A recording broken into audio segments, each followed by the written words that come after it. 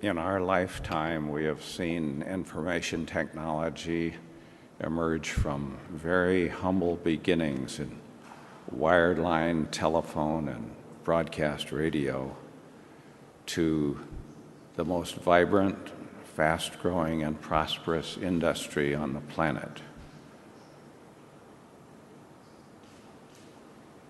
It's been my privilege to be able to contribute to this enormous human endeavor. And I'm very gratified that those contributions have been seen worthy of the Frontiers of Knowledge Award. An event like this, it's inevitable, takes one back to the time when one's contributions were being made. Uh, in my case, that was between 40 and 50 years ago. Uh, at that time, the ideas that were being put forward were not greeted with enthusiasm. In fact, there was a great deal of skepticism and no small amount of outright hostility. My experience is not unusual for an innovator. Uh, new ideas are seldom welcome by the incumbents.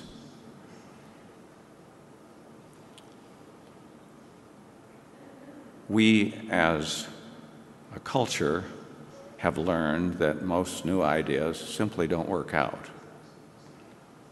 So the burden of proof lies on the innovator. The innovation must work out in the real world. That burden is a heavy one, and sometimes it's too heavy for an innovator, and the innovation is lost.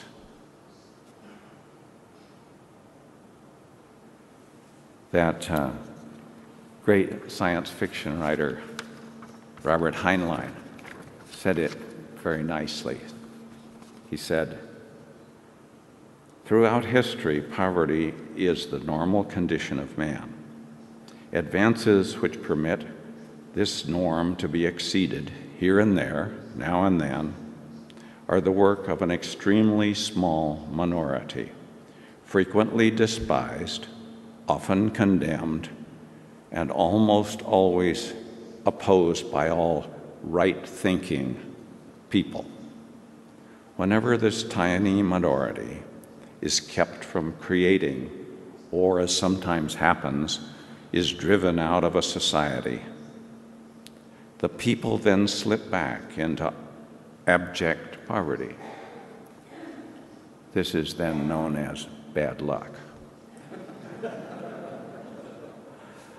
Um, there are lessons here for new innovators. Young people coming along must understand that you will face opposition.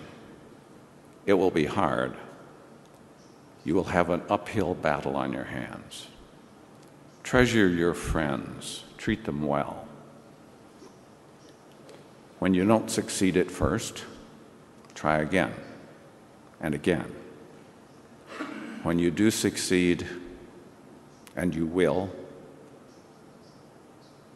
help the next innovator along. There's also a message here for those entrusted with public policy.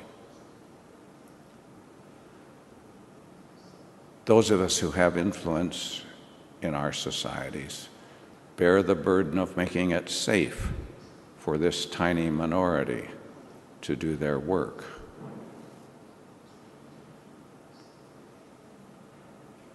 We are all grateful to the BBVA Foundation for their support in this regard.